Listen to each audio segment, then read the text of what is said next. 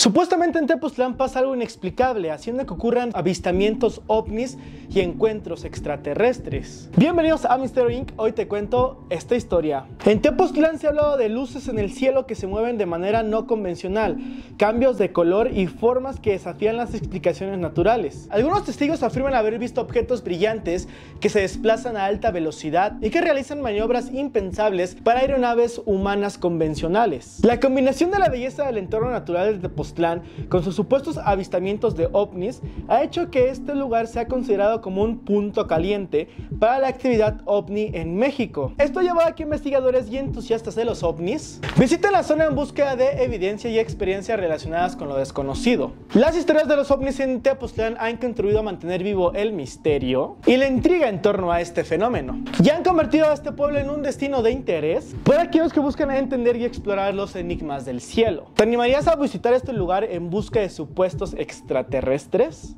Te leemos.